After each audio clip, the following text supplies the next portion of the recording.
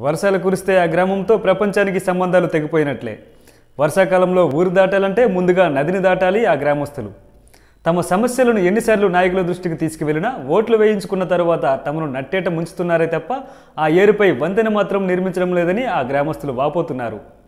జవాద్ తుఫాన్ కారణంగా ఆ గ్రామానికి పగవానికి కూడా రాకూడని సమస్య ఏర్పడింది ఇప్పుడు. అదే విజయనగరం జిల్లా మెంటాడ మండలం జగన్నాథపుర గ్రామం.